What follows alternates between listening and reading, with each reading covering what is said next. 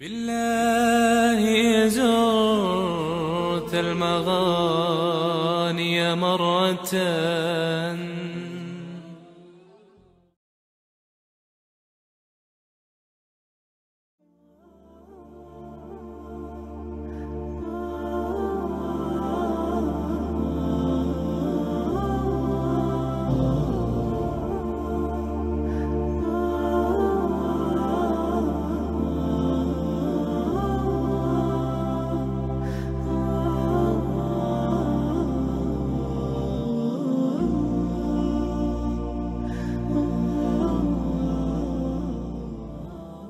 Assalamu alaikum, everyone, and welcome back to another episode of I Jihad, a web series dedicated to deconstructing anti Islam polemics while providing our audience with the most accurate information on Islam and the Muslim world.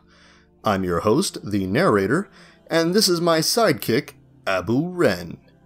Today, we will be analyzing a set of videos from a popular ex Muslim YouTuber that goes by the name of The Masked Arab. Hey Abu, why don't you fetch me the case file on our next target? Thanks. Alright, let's see here. So the masked Arab has gained a large following due to being an ex-Muslim who happens to critique Islam. He is most well known for arguing that ISIS is a near-perfect representation of Islamic teachings. So we intend to examine his videos in depth, revealing their numerous errors and fallacious logic. Admittedly, however, this is going to be quite difficult, because it seems that all one needs to do these days to be granted supreme authority on a religion is to be an ex-follower of that religion. In other words, we are not as privileged as the masked Arab to have these magical powers conferred upon us by the credulous masses. So we'll have to rely on these inconsequential things called facts in order to make our case. Now, to be fair, the masked Arab does attempt to present authentic sources throughout his videos. That said, he does so in a purposefully selective manner, twisting those sources to suit his own agenda so as to deceive his audience. Now, if you don't believe me, that's perfectly fine, because by the end of this episode, you will. You see, we will be using the very same sources as the masked Arab to prove this accusation. That's right, the very same sources, links and all. There will be no mental gymnastics on display here, no excuses, and no apologetics. Nope, just some good old reading comprehension and a love for integrity and as always, we will provide full academic references. Now, in order to do this, we will need to begin by looking at the first two videos of the Masked Arab series on Islam and ISIS. The first video deals with terrorism and extremism, and the second with killing innocent civilians. Now, these two videos are essentially the same. However, what makes them particularly notable is that they are the foundation for the rest of the series.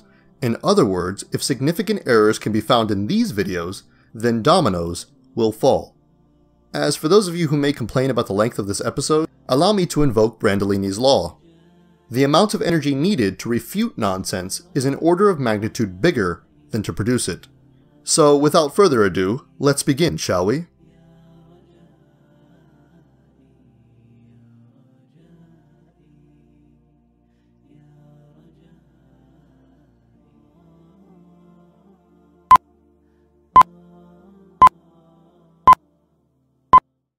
So let's begin in this video with issue number one, terrorism and extremism. Here I want to speak about these two issues in the general sense. Terrorism in the Arabic language is irhab, and it comes from the root word rahaba. First question, does the Quran order its followers anywhere to use terrorism? The answer is yes.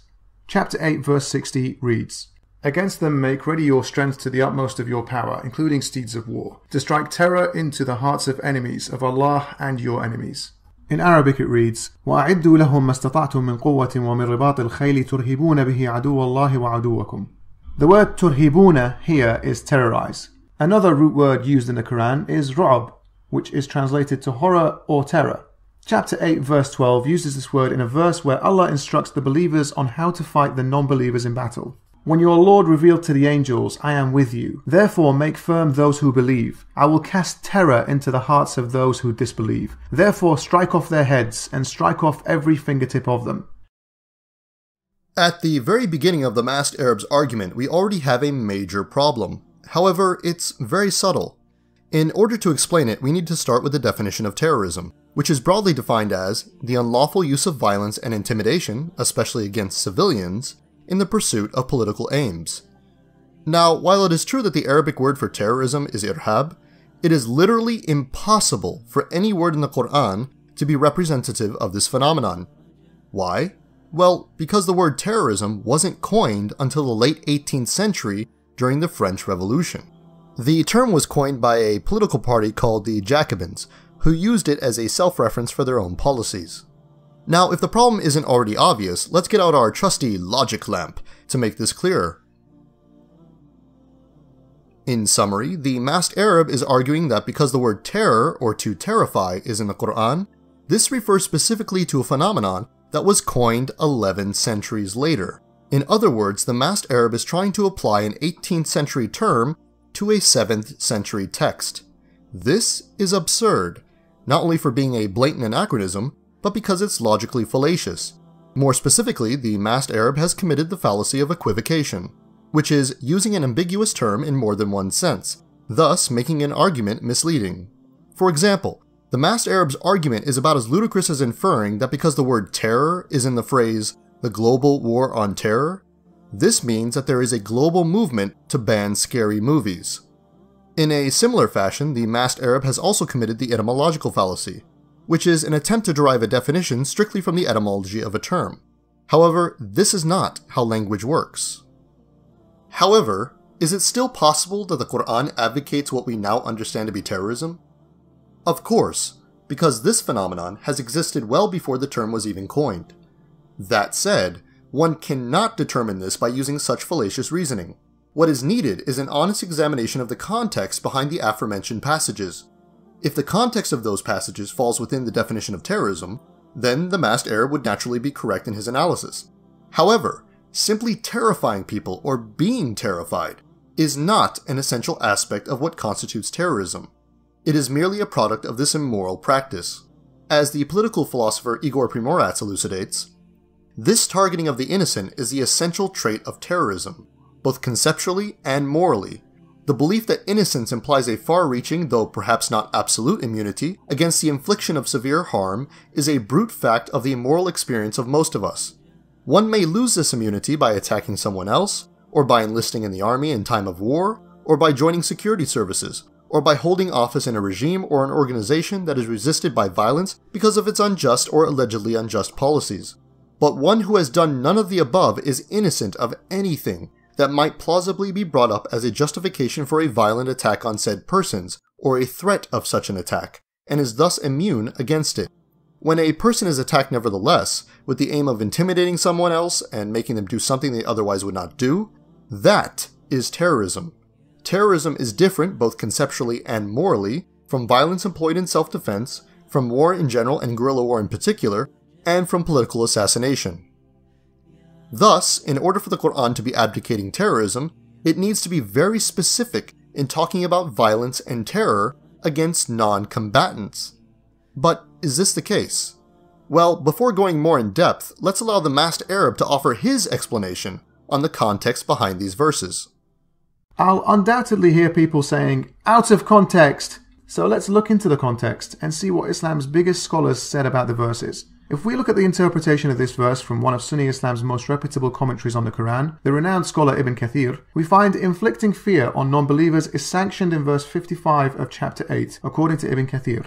Allah states here that the worst moving creatures on the face of the earth are those who disbelieve. So, if you gain the mastery over them in war, if you defeat them and have victory over them in war, then disperse those who are behind them by severely punishing the captured people this ayah commands punishing them harshly and inflicting casualties on them. This way, other enemies, Arabs and non-Arabs, will be afraid and take a lesson from their end. That, in a nutshell, pretty effectively describes the phenomena of terrorism as we see it in the world today, punishing people harshly in order to frighten others. Here, the masked Arab relies on what is possibly considered one of the most reputable Quranic commentaries in the Muslim world, a tafsir by the 14th century scholar Ibn Kathir, However, the masked Arab's use of this tafsir is rather deceptive, and we need only examine the commentary ourselves to affirm this. First, let's take a look at the masked Arab's bibliography for this video. As you can see here, he references the tafsir and provides a link, but the commentary he provides is for chapter 8, verse 55, not for the verses he just mentioned prior. which were 812 and 860. So not only does he neglect to show the commentary for these verses, but he also neglects to mention the introductory commentary for the entire chapter, or surah. And why is this a problem? Well, because Ibn Kathir openly contradicts the masked Arab's interpretation of these verses. Going straight to the website the masked Arab uses, we find the following introductory commentary for this surah. Al-Bukhari recorded that Ibn Abbas said, Al-Anfal are the spoils of war. Al-Bukhari also recorded that Sa'id bin Jubair said, I said to Ibn Abbas, Surat Al-Anfal, he said, it was revealed concerning the battle of Badr. Imam Ahmed recorded that Abu Umama said that Ubadah bin As-Samit said, We went with the Messenger of Allah wasallam to the battle of Badr. When the two armies met, Allah defeated the enemy and some of us pursued them, inflicting utter defeat and casualties. From the introductory commentary alone, it's apparent that this entire surah makes zero reference to the phenomenon of terrorism, because it's specifically talking about two opposing armies. In other words, the disbelievers mentioned in 855 concern military combatants only, not some random non-Muslims that just happen to be walking around minding their own business. Now, while we will be discussing the nature and details of this battle in a subsequent episode, for those who wish to argue that because these verses say the disbelievers, it therefore means all disbelievers, allow me to give you a brief lesson on how grammar works. You see, there are these things called definite articles, and they usually refer back to a more specific person, place, or thing. In other words, they don't always refer to a universal subject. For example, if I said that the Japanese bombed Pearl Harbor during World War II, it would be obvious that I'm not referring to all Japanese people, but specifically the Japanese military during World War II. No one with any semblance of intelligence would think otherwise. Likewise, if I said that the Americans defeated the Germans in World War II, no one would assume I meant every single American or every single German citizen. Such nuance applies even more so to cases of demonstrative and relative pronouns. So if this is going to be your counter response, I beg you, please, spare your brain cells. The masked Arab's deceptive use of this commentary becomes even more apparent in the following clip. I'd like to ask any Muslims this question regarding the latter part of this verse. It asks the believers to cast terror into the hearts of infidels and strike off their heads and their fingertips. But which one do you do first? Are you supposed to chop off the head first and then chop off the fingertips, or do you chop off the fingertips first? Either way, this is horrific and it's straight from the Quran. If you chop off the head first and then go for the fingertips, then you're just mutilating a dead body. If it's done the other way around and you chop off the fingers first and then the head, then you're just torturing people before killing them. What's the purpose here of mutilation or torture? Please explain how you can accept this verse and which one you think goes first. Then tell us why you think the mutilation or torture is merited. If you want to argue that they're done at the same time, then what's the point of going for the fingertips? What purpose does that serve? Well, that's a lovely question. However, I don't really understand why he's asking his audience to answer it when he has a commentary on hand that he considers to be of the utmost reliability. So let's read what Ibn Kathir has to say about this verse. Allah's statement, I will cast terror into the hearts of those who have disbelieved, means you, angels, support the believers, strengthen their battlefront against their enemies, thus implementing my command to you. I will cast fear, disgrace, and humiliation over those who defied my command and denied my messenger. Ar-Rabi bin Anas said, In the aftermath of Badr, the people used to recognize whomever the angels killed from those whom they killed by the wounds over their necks, fingers, and toes, because those parts had a mark as if they were branded by fire. So if it wasn't already apparent, this verse is not a direct command to Muslims, but to the angels in support of the Muslims during a military conflict. It's even stated in the verse itself. As for the reason for them attacking those particular body parts, it was to show the Muslims that they were being supported by divine intervention. Now, a non-Muslim doesn't have to believe this story if they don't want to. That's perfectly fine. However, to claim that this verse is a command to Muslims to torture and mutilate non-combatants is simply false.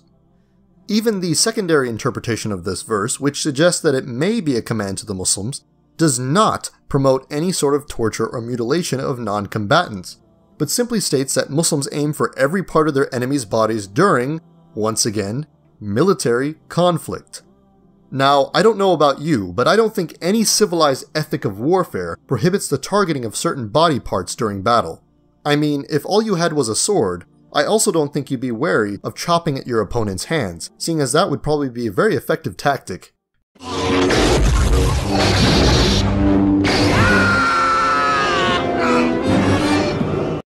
Just saying.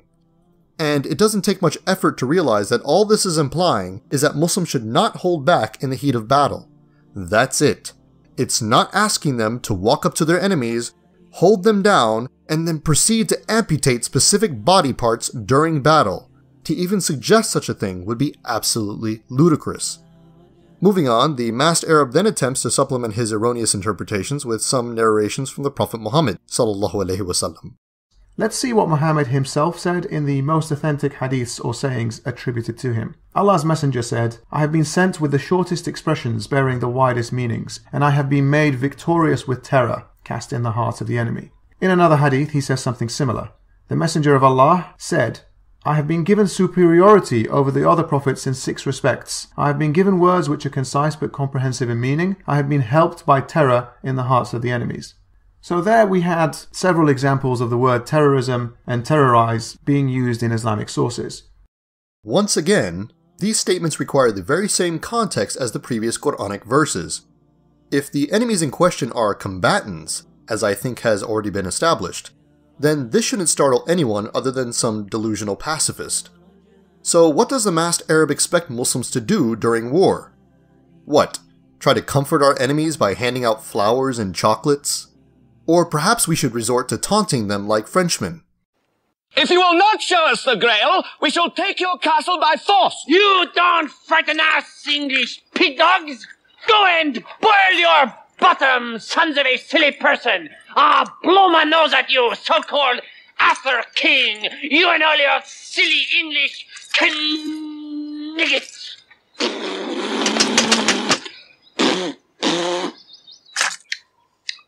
What a strange person. Moving on, let's look at how the masked Arab defines extremism in the final part of this video. But what about extremism? The word for an extremist is mutashaddid. A variation of this word, ashidda, appears in chapter 48 verse 29 as a command on how to behave with non-Muslims. In the interpretation of this verse by Jalalain, we read the following. Muhammad is the messenger of God, and those who are with him, that is, his companions from among the believers, are hard, tough against the believers, showing them no mercy, but merciful amongst themselves. In chapter 9 verse 123, we find another instruction on how to treat non-Muslims. It tells us, O ye who believe, fight those of the disbelievers who are near to you, and let them find harshness in you, and know that Allah is with those who keep their duty unto Him. In chapter 5 verse 54 we see this instruction, as explained by Ibn Kathir. Allah will bring a people whom He will love and they will love Him. Humble towards the believers, stern towards the disbelievers. This is the description of the believers, harsh with the disbelievers, merciful and kind to the believers, angry without smiling before the disbelievers, smiling and beaming with pleasure before his believing brother. This isn't entirely correct. You see, unlike English, Arabic has far more ways to say the word extremist and even more ways for it to be understood. While religious extremism can be represented by the word mutashaddid, it generally has a non-violent connotation. You see, the word is derived from the word tashaddud, which has a variety of meanings in and of itself, including but not limited to the following forced hardness, firmness, strength, vigor, hardiness, courage, vehemence, severity, strictness, rigor, etc. In other words, while the word may denote an aspect of extremism, it doesn't usually refer to acts of violence. The type of extremist that the masked Arab seems to be talking about is someone who reaches or goes beyond the bounds of a moral or ideological standard, and would probably be better represented by the term mutatarraf, which is derived from the word tatarruf, that aside, the masked Arab once again neglects to show whether these verses are addressing civilians or military combatants, and by this point, I believe he's doing so deliberately. Why? Well, first notice how he no longer relies on Ibn Kathir when attempting to explain Surah 48 verse 29. Rather, he references Imam Suyuti, the 15th to 16th century scholar who co-wrote a more vague commentary by the name of Tafsir al-Jalalain, he then goes on to mention Surah 9 verse 123, but curiously doesn't attach any commentary at all. And then he does something even more peculiar. He mentions Surah 5 verse 54 within Ibn Kathir's tafsir, as a supplement to his commentary on Surah 48, verse 29. Yes, that's right. The Mass Arab is quoting a verse within the commentary of another verse. You need only go to the website he uses, select Surah 4829, and then click on the subsequent page to see where he derives this reference. So why does the masked Arab suddenly decide to use a new reference while censoring Ibn Kathir? Why not be more consistent and at least use the same ever so credible commentary for these specific passages? You know, so as to remain objective? Well, the answer is quite simple. Because the masked Arab knows that Ibn Kathir contradicts him, and he wants to hide what he has to say on the matter, while still keeping a veneer of objectivity. As a case in point, when we examine Ibn Kathir's commentary on Surah 9 verse 123, we find that he clearly refers to military conflict. O you who believe, fight those of the disbelievers who are close to you, Allah said next, and let them find harshness in you, meaning, let the disbelievers find harshness in you against them in battle. The complete believer is he who is kind to his believing brother and harsh with his disbelieving enemy. And Surah 5 verse 54 is used here as a supplement.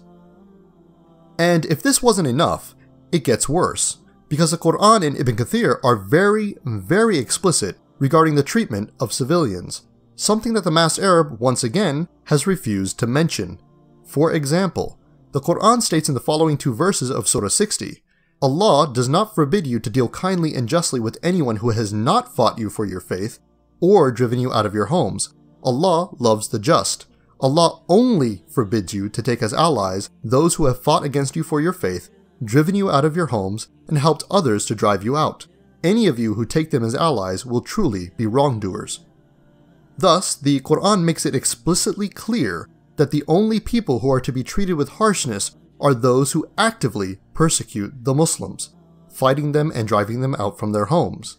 Now, one may retort that these verses were abrogated by later verses which seem to advocate all out war against every single disbeliever, whether they be soldiers or civilians. More specifically, one might mention Surah 9, verse 5. When the four forbidden months are over, wherever you encounter the idolaters, kill them, seize them, besiege them, wait for them at every lookout post. But if they turn to Allah, maintain the prayer, and pay the prescribed alms, let them go on their way, for Allah is most forgiving and merciful. At a later point in this episode, we'll discuss this verse in more detail, but in the meantime, let's address this counter-argument, once again using the masked Arab's very own references. Firstly, it should be noted that neither Ibn Kathir nor Imam Suyuti claim that the two verses in Surah 60 were abrogated. More importantly, however, Ibn Kathir openly states his opposition to the idea that Surah 9 verse 5 abrogates previous passages. He makes this clear in his commentary on Surah 2 190 to 191, where he states the following and fight in the way of Allah those who fight you. Abu al-Aliya said, This was the first ayah about fighting that was revealed in Al-Madinah. Ever since it was revealed, Allah's Messenger وسلم, used to fight only those who fought him and avoid non-combatants. Later, Surah 9 was revealed. Abdurrahman bin Zayd bin Aslam said similarly. Then he said that this was later abrogated by the ayah, then kill them wherever you find them. However, this statement is not plausible because Allah's statement, those who fight you, applies only to fighting the enemies who are engaged in fighting Islam and its people. So the ayah means, fight those who fight you. Just as Allah said in another ayah, and fight against the mushrikeen collectively as they fight against you collectively. He then goes on to say, But transgress not the limits. Truly, Allah likes not the transgressors. This ayah means fight for the sake of Allah and do not be transgressors, such as by committing prohibitions. Al-Hasan al-Basri stated that transgression indicated by this ayah includes mutilating the dead, theft from captured goods, killing women, children, and old people who do not participate in warfare, killing priests and residents of houses of worship, burning down trees, and killing animals without real benefit. As such, it should be obvious by this point that the masked Arab isn't acting innocently with these omissions. More formally speaking, what the masked Arab is doing here is committing the fallacy of suppressed evidence where he has purposefully excluded information to suit his own agenda. This is also commonly referred to as cherry picking. So I'd say this is a pretty bad start for such a major expose produced by an apparent authority on the subject. But can the masked Arab salvage this mess? Well, let's move on to his second video where he argues that Islam condones the killing of innocent civilians. So let's move on to point number two killing innocents and civilians. Whenever the issue of killing innocent people comes up, many Muslims will simply throw this verse in your face and expect the problem to go away. On that account, we ordained for the children of Israel that if anyone slew a person, unless it be for murder or for spreading mischief in the land, it would be as if he slew the whole people. And if anyone saved a life, it would be as if he saved the life of the whole people. Nearly all the time an apologist shows you this verse, you won't be shown the first part of that verse, as it makes clear that this is an instruction God gave to the Israelites and not the Muslims. They will often also extract a central part of that verse, which tells you that the people can be killed for spreading mischief, whatever that means. But back to the fact that it's not actually directed as an instruction to Muslims, and is only referring to an instruction given to the Jews. Some might say it doesn't matter, as the instructions for the Israelites are the same for the Muslims. But has the God of the Quran instructed anything to the Israelites that wasn't also instructed to the Muslims? Well, the answer is yes. They were given the Sabbath, and that's confirmed in numerous verses, including one where God punishes those who don't abide by it by turning them into monkeys. But it's clearly commanded to the Jews, as we can see by this verse. We said to them, Do not exceed the limits of the Sabbath, and we made with them a firm covenant. So, an instruction to Jews is not always binding on Muslims, and the use of this verse by apologists fails easily at the first hurdle. Well, I'm not familiar with how so called Islamic apologists use this verse, but I'm pretty sure the verses I would rely on would be the following. For one, the previously mentioned verses in Surah 60. Then I would probably mention Surah 6, verse 151, which is a direct command to Muslims. Say, Come, I will tell you what your Lord has forbidden you. Do not ascribe anything as a partner to him. Be good to your parents. Do not kill your children in fear of poverty. We will provide for you and for them. Stay well away from committing obscenities, whether openly or in secret. Do not take the life Allah has made sacred, except by right. This is what He commands you to do. Perhaps you will use your reason. Subsequently, I then use Ibn Kathir's commentary on this verse, which clarifies what a sacred life is. And kill not anyone whom Allah has forbidden, except for a just cause, according to Islamic law. The blood of a Muslim person who testifies that there is no deity worthy of worship except Allah, and that I am a messenger of Allah وسلم, is prohibited, except for three offenses. He goes on to say, there is a prohibition, a warning, and a threat against killing the mu'ahid, i.e., non-Muslims who have a treaty of peace with Muslims, Al-Bukhari recorded that Abdullah bin Amr said that the Prophet ﷺ said, Whoever killed a person having a treaty of protection with Muslims shall not smell the scent of paradise, though its scent is perceived from a distance of 40 years. Interestingly enough, the masked Arab doesn't even bother to mention any of these verses or their commentary.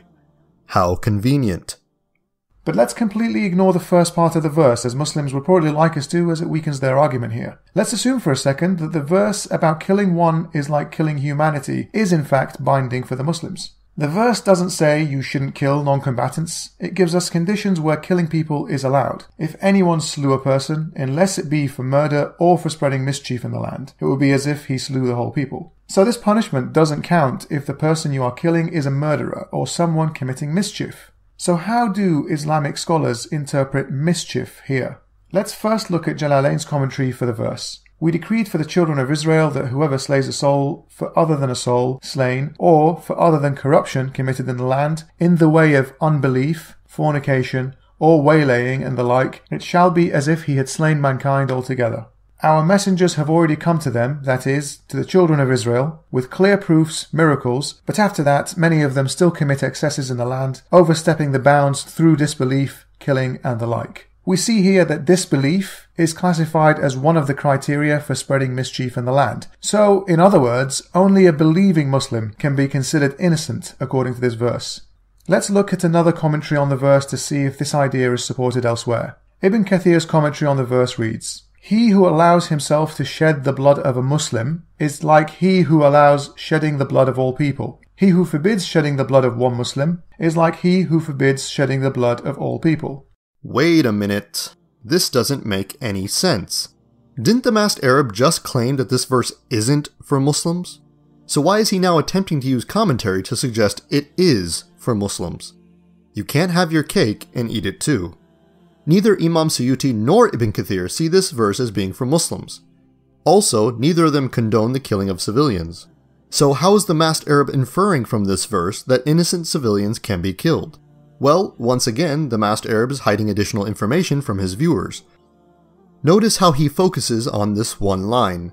However, if we visit that same link, we find the primary interpretation of this verse above this line. That if anyone killed a person not in retaliation of murder, or and to spread mischief in the land, it would be as if he killed all mankind, and if anyone saved a life, it would be as if he saved the life of all mankind.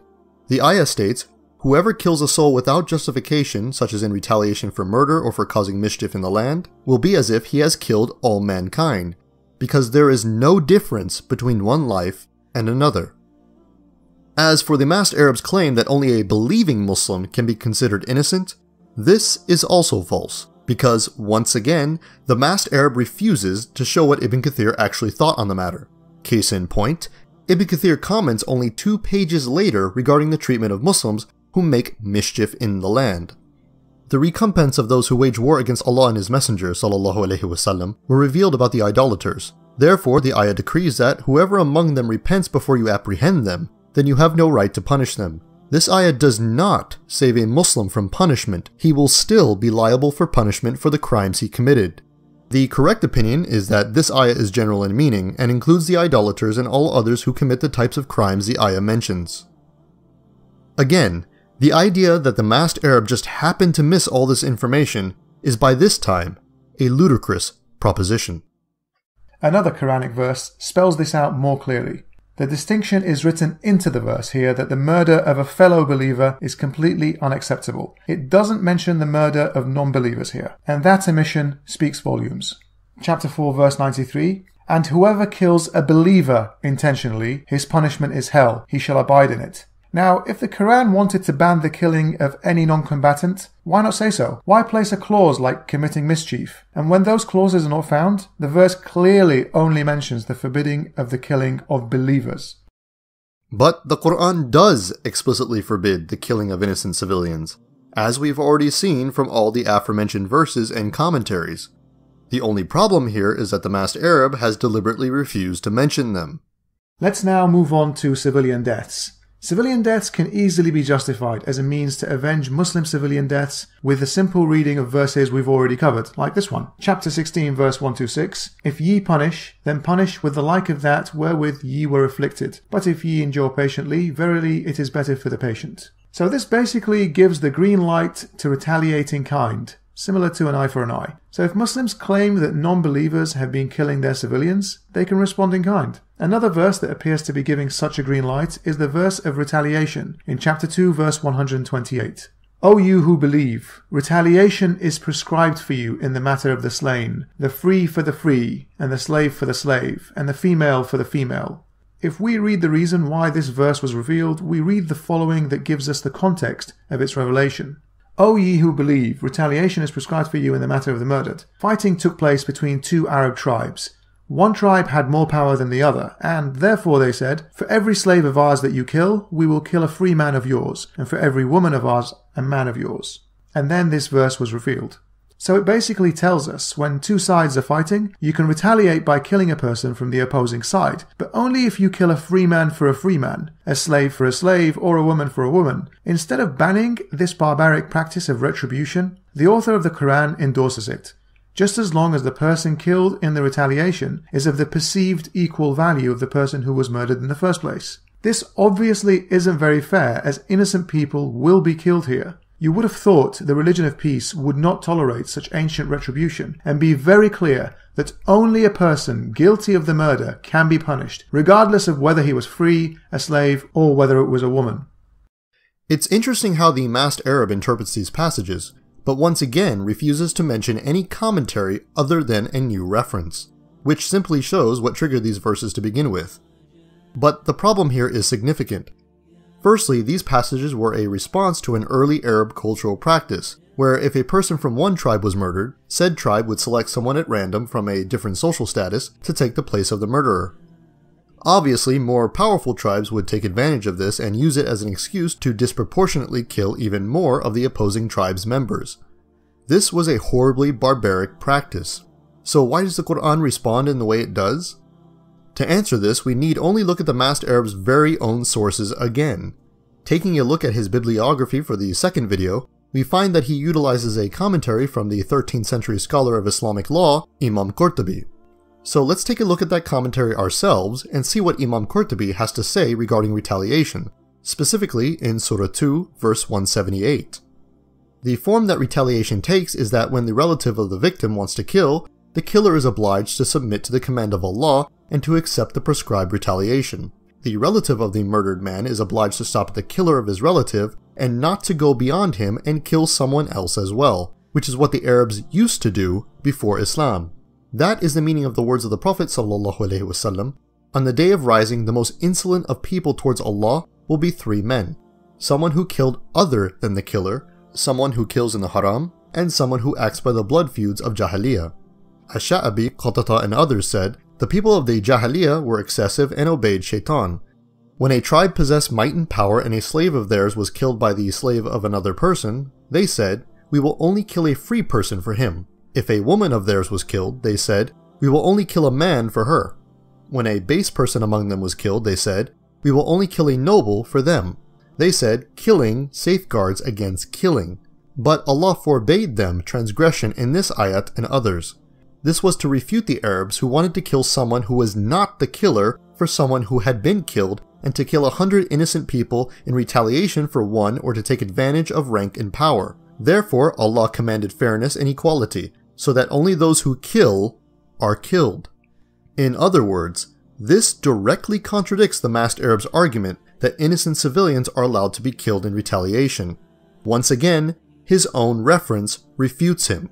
How quaint. That said, let's discuss retaliation in more detail after examining the following clip.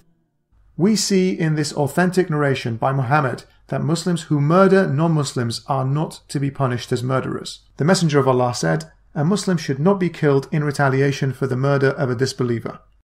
Yes, retaliation, or qisas, is not allowed against a Muslim who murders a non believer. The reason being is because retaliation was only sanctioned to settle civil disputes between Muslims. However, that doesn't mean that a Muslim who murders an innocent non believer isn't punished at all. You see, there are other forms of punishment in Islam other than qisas.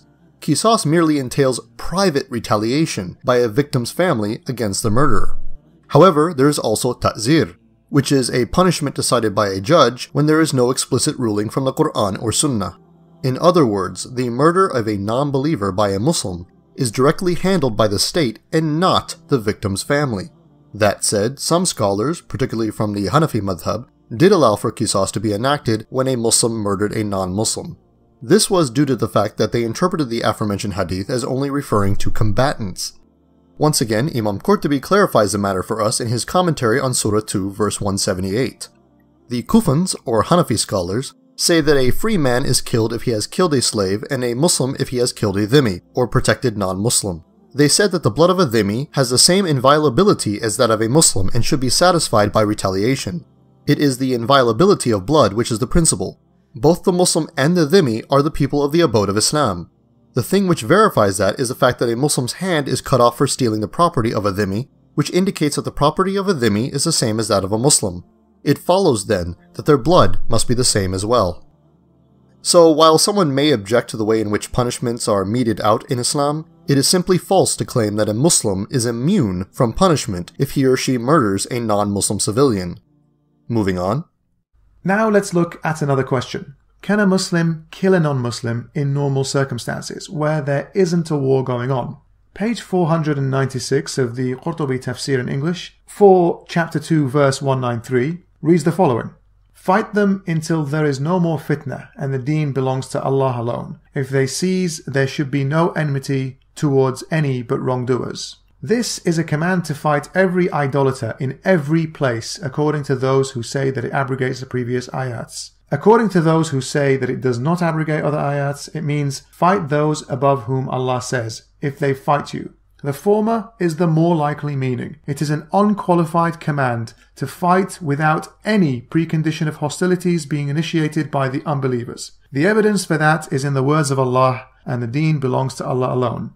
This has spelt it out for us very clearly that the verse has been understood to command Muslims to fight every idolater in every place, as the most likely meaning. It adds that fighting non believers can occur without the non believers initiating or starting a fight against the Muslims. Then it reads So the goal is to abolish disbelief, and that is clear.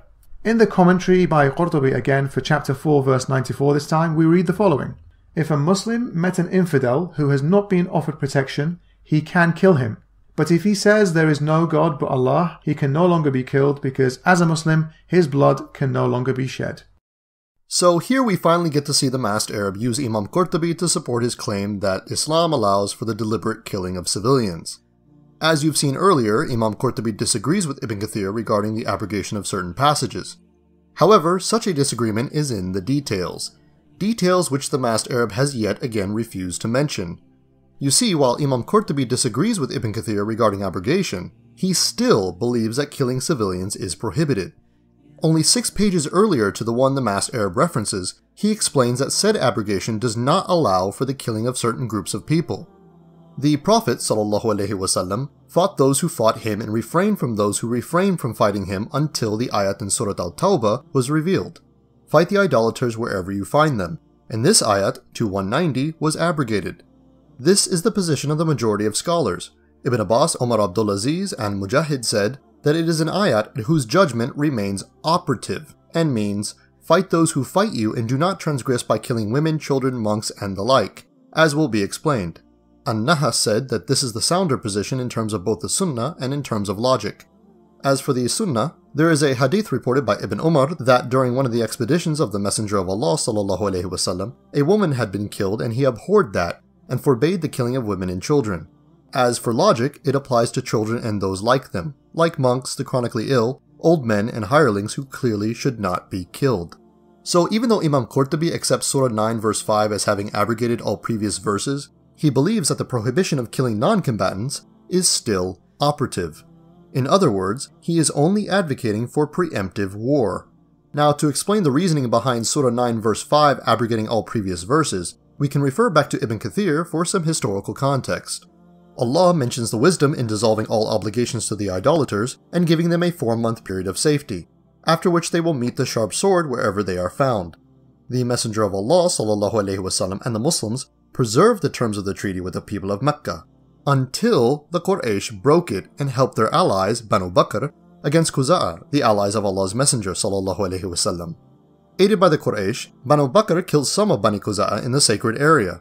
The Messenger of Allah وسلم, then led an invasion army in the month of Ramadan, of the 8th year, and Allah opened the sacred area for him to rule over. In summary, the Muslims and the pagans had a peace treaty and weren't fighting each other until the latter decided to attack and kill the allies of the Muslims.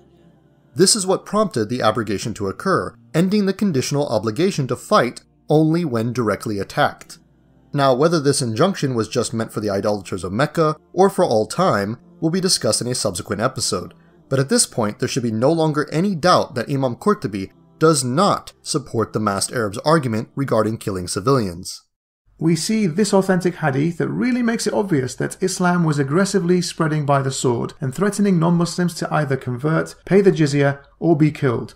But it was also threatening Muslims who weren't good enough in his eyes. Allah's Messenger said, I have been ordered by Allah to fight against the people until they testify that none has the right to be worshipped but Allah, and that Muhammad is Allah's Messenger, and offer the prayers perfectly and give the obligatory charity. So if they perform that, then they save their lives and property from me. Here he says clearly he has been ordered to fight against the people, referring to them in a general sense, unless they become Muslims, which still isn't enough. They also need to offer prayers perfectly and pay zakat to the state and only then will their lives and property be safe from Muhammad. Remember that grammar lesson I gave on definite articles? Good, because it especially applies here. The people is specific, not general. In any case, given what we already know regarding the pagan Arabs, these ahadith should not be surprising in the least. You see, when you win a war against an overly aggressive enemy that refuses to abide by peace treaties, it's only rational that you have the privilege of dictating the terms of governance. This is nothing new. It has been practiced throughout the entire history of mankind. You would have to be completely bereft of sense to think this was wrong. What's ironic about all this, however, is that while the masked Arab claims that Islam promotes terrorism and extremism, all of his own sources have thus far shown that it was the pagan Arabs and their allies, not the Muslims, who were engaging in mafia like tactics. So much so that the Muslims eventually had to conquer them completely because they just wouldn't stop. After so many treaties and second chances, the pagans and their allies continued to kill innocent people and persecute the Muslims. When it finally came down to it, the only way to stop them was to force them to submit to Islamic rule, or destroy them completely. There were no other options. Now, I will discuss the context behind these demands in the next episode, so that my viewers will realize the full extent of the crimes committed by the enemies of Islam during this period. However, in the meantime, allow me to give a modern example of this sort of unconditional surrender. At the end of World War II, when the Allied powers finally defeated Japan, they forced them to unconditionally surrender to their terms. This was known as the Potsdam Declaration, and it included, among other terms, the complete abolition of the cult of the God Emperor and his authority, the imposition of democracy on the Japanese people, and the absolute decommissioning of all military forces. And what was the alternative? Yes, that's right, utter destruction. And this is just one example of such a practice. Throughout history, similar forms of unconditional surrender have been made, especially when dealing with aggressive, warmongering societies that absolutely refuse to live peacefully with others. And to drive this point home, allow me to ask a simple question. Would anyone rationally oppose such terms if they were applied to a group like, say, ISIS? Would anyone expect anything less from a civilized society when dealing with such barbarians? I didn't think so. But in fairness, Islam appears to forbid the killing of certain categories of non Muslims. Those who are paying the jizya tax and living in the Islamic State as lesser subjects, and also those who have been offered protection on a more temporary basis, like messengers from neighboring kingdoms, for example. It appears also that there's a general consensus with classical scholars that prohibits the deliberate targeting of women and children. This is mainly because of this hadith. During some of the ghazawat of Allah's Messenger, a woman was found killed. So Allah's Messenger forbade the killing of women and children. And by his very own admission, the masked Arab completely undermines his first two videos. Because if it's prohibited in Islam to target and kill disbelieving civilians, such as those whom the Muslims have treaties with, as well as women, the elderly, the sick and disabled, monks, children, and the like, then the proposition that Islam advocates terrorism and extremism is demonstrably false. To say otherwise would be logically incoherent. That said, despite this admission, the masked Arab still attempts to sneak in some final red herrings to further strengthen his poor arguments. We also see this distinction of not killing children in the story of Bani Qurayza, which I'll talk about a bit more later. But generally, the Muslims decided to kill all men and boys above the age of puberty of this particular Jewish tribe they had besieged and starved for several weeks. It was the third and final Jewish tribe of Medina that Muhammad had turned against.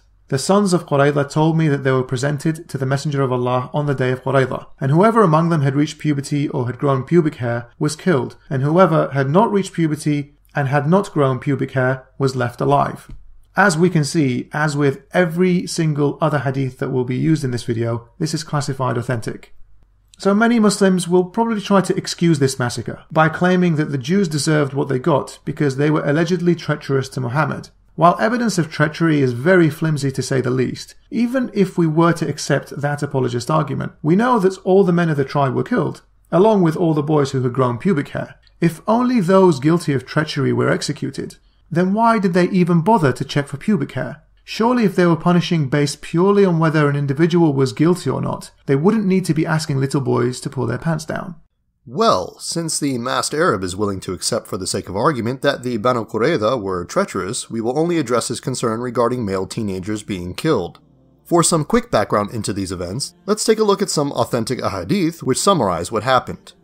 Narrated Ibn Omar, Bani an-Nadir and Bani Qurayza fought against the Prophet ﷺ, violating their peace treaty. So the Prophet ﷺ exiled Bani an-Nadir and allowed Bani Qurayza to remain at their places in Medina, taking nothing from them till they fought against the Prophet ﷺ again. He then killed their men and distributed their women, children, and property among the Muslims, but some of them came to the Prophet ﷺ and he granted them safety, and they embraced Islam. He then exiled all Jews from Medina. So the first thing we should notice here is that the Jews of Bani Qurayza, along with another Jewish tribe, had agreed to a peace treaty with the Muslims prior, and then violated that agreement through their own act of military aggression. After this, the Prophet ﷺ exiled one of the tribes but gave the Bani Qurayza a second chance. Then the Bani Qurayza betrayed the Muslims again, which instigated this punishment. Thus, we can already affirm that this was a second chance given to an obviously very aggressive group of people. However, even then, the hadith clearly states that some of these people were granted safety, spared, and then converted to Islam as a result. So obviously, not all of the men were killed. Now, let's see how and why this punishment was decided. The people of Banu Qurayza agreed to accept the verdict of Sa'ad bin Mu'ad, an ex-Jew. So the Prophet ﷺ sent for Sa'ad. Then the Prophet ﷺ said to Sa'ad, These, i.e. the Banu Qurayza, have agreed to accept your verdict. Then Sa'ad said, Kill their warriors and take their offspring as captives. Now, according to this hadith, the Banu Qurayza chose Sa'ad to judge their fate, not the Prophet ﷺ, but an ex-Jew who converted to Islam. So they trusted Sa'ad to be fair, assuming that he would probably judge them by their own laws. And indeed, he did just that. And we know this because his judgment was taken from the Torah itself. Quoting Deuteronomy 20, 10 through 14, If they accept and open their gates, all the people in it shall be subject to forced labor and shall work for you. If they refuse to make peace and they engage you in battle, lay siege to that city. When the Lord your God delivers it into your hand, put to the sword all the men in it. As for the women, the children, the livestock, and everything else in the city, you may take these as plunder for yourselves, and you may use the plunder the Lord your God gives you from your enemies. In other words, the Banu Qurayza were judged according to their own laws that they themselves agreed to. Anyone who didn't agree to these laws and found them absurd made the rational decision and converted to Islam. You know, because there is no compulsion in religion. But there's something else interesting about this second hadith, in that it makes explicit that only the warriors of the tribe were to be killed. The hadith prior to this also mentions that these warriors were men, not boys. And do you know why? Well, it has something to do with the fact that 1400 years ago, people considered puberty to be the standard for adulthood. And that's perfectly reasonable considering that people back then started life a lot earlier than we do today mostly because the average life expectancy was far lower than our own. This is not even a remotely controversial point.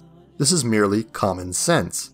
So the fact that the masked Arab thinks that 1400 years ago teenagers were somehow not treacherous because they were teenagers is an anachronism which makes evident that he is ignorant of history and human evolutionary development. But that's not entirely surprising. Moving on. So it appears, generally at least, that killing women and pre-puberty children is forbidden. But in true Islamic fashion, the message gets blurred. And we also have other narrations on this topic which give us scenarios that permit their killing. This narration is in Sahih Muslim, book 32, and the chapter itself is called Permissibility of Killing Women and Children in Night Raids so long as it is not done deliberately. The Prophet of Allah, when asked about the women and children of the polytheists being killed during the night raid, said, They are from them. So here he clearly allowed women and children to be killed if they were what is regarded today as collateral damage. When militants kill people indiscriminately by shooting or bombings, many innocent people, even by jihadi standards of who is deemed innocent, are inevitably killed. So how is this justified? You'll hear the militants say they are attacking a group of people which include what they regard as legitimate targets. Any innocents killed will just go to heaven earlier. This sick mentality is taken direct from this hadith. Allah's Messenger said, An army will invade the Kaaba, and when the invaders reach Al Bayda, all the ground will sink and swallow the whole army. I said, O Allah's Messenger, how will they sink into the ground while amongst them will be their markets, the people who worked in business and not invaders, and the people not belonging to them? The Prophet replied, All of those people will sink, but they will be resurrected and judged according to their intentions. So Muhammad basically says even those caught up in the death and destruction who are innocent will just die and be judged by God. Pretty much like how Noah's flood worked, I guess. Finally, the masked Arab makes his last desperate attempt to show that Islam is supportive of deliberately killing civilians, based on the non deliberate killing of civilians. Now, I don't know about you, but I don't think any civilized society rejects the concept of collateral damage, especially when it can't be helped. That said, military combatants should do their best to avoid causing collateral damage. and I think an argument can be made that any society that doesn't do this is clearly immoral. But to claim that collateral damage in and of itself is immoral, only by virtue of the fact that Islam allows for it, is really grasping at straws. You see, night raids were a common tactic by every civilization in the past, and still are. They were especially effective when facing off against a superior force. Unfortunately, as a result of lacking things like night vision, such collateral damage could not be helped. It's not like today where we have the technology to precisely target soldiers in the dark. So as far as I'm concerned, this objection just puts the final nail in the coffin. Even when he's not cherry picking, the masked Arab struggles to make a good point. Now, before wrapping up this episode, I'd like to give a closing analysis. You see, it's one thing to be completely wrong about your views, but it's another to be wrong because you don't have enough integrity to address the source material objectively. At this point, it is literally impossible for me to give the benefit of the doubt to the masked Arab. That he's been somehow completely unaware of all this information that contradicts his claims, especially when it comes from the very same sources he uses to support his own arguments. I just cannot fathom how a practicing Muslim of over 30 years who claims to have studied the subject in depth could commit such obvious errors. The dishonesty is palpable. It's as though his use of these sources was merely a smokescreen. You see, I believe the masked Arab knows that his audience isn't going to check his references. He knows that by playing the ex-Muslim card, those in need of a noble savage to reassure them of the superiority of Western civilization will gladly make him an idol of unquestionable authority. And what really makes evident the masked Arab's audacious lack of integrity is when I asked him the following on Twitter. Curious if you'd be willing to retract your ISIS videos if shown to be wrong and issue an apology to your viewers. Seriously. Shortly thereafter, I received a response from the masked Arab, but it wasn't what I was expecting. If you or anyone can prove that every single thing I said in the series is objectively wrong, I'll delete the entire channel. Good luck. You see, a man of integrity would have responded by saying something like, Yes, I will retract my views and issue an apology if I'm shown to be wrong. But instead, the masked Arab decides to do something else. He moves the goalpost, stating that he will only act if absolutely everything he says in the series is refuted. And if he does act, he won't retract his views or issue an apology. Oh no no no. Rather, he will simply run away like a coward by deleting his entire channel. This is nothing less than deplorable. And this is also why I believe that the masked Arab isn't really interested in helping the world get rid of ISIS. No, his only concern is rationalizing his own apostasy. Those mob fools want you gone so they can get back to the way things were. But I know the truth. There's no going back. You've changed things. Forever. Then why do you want to kill me? I don't, I don't want to kill you. What would I do without you? Go back to ripping off mob dealers? No, no. No. No, you. You complete me. With all that said, I'd like to thank my viewers for watching. In the next episode of iJihad, we'll be deconstructing another set of videos by the masked Arab. Until then, Jazakallah khaira, Assalamu alaikum wa rahmatullahi wa barakatuhu.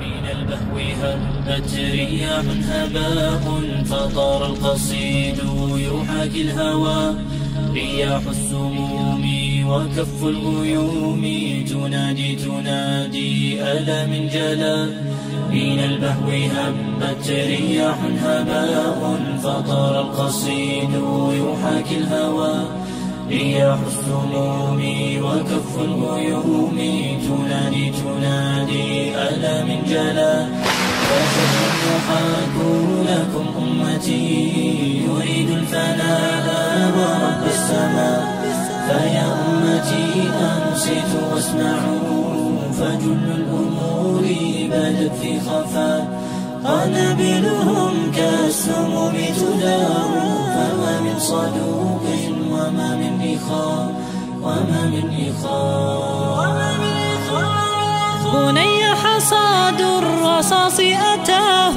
فما من مغيث ولا من عزاء أبي رحيم كشربة ماء طعنت فطوبى ولا من شقاء وأمي يا أمي كفاك بكاء فدينك يعلو وكل هورا وعرض استبيح وما من رجاء سوى بإلهي مجيب الدعاء. رضيعي تمزق صوت الإباء فكل يردد صوت الغناء.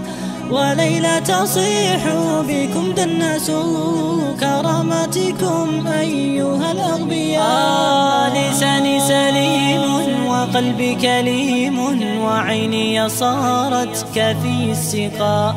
أئن طويلا وما من دواء فقومي صاروا كما الببغاء. لساني سليم وقلبي كليم وعيني صارت كفي السقاء أئن طويلا وما من دواء فقومي صاروا كما الببغاء. فهل حلول تعيد السريبا وأين الصمود؟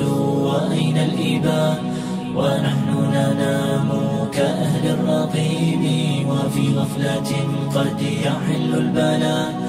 وأرجو الإله يزيل العناء ويرسل جندا كديم السماء ليعلو الكتاب ويخبو سواه وينصر جندا ألح الدعاء ليعلو الكتاب ويخبو سواه وينصر جندا ألح الدعاء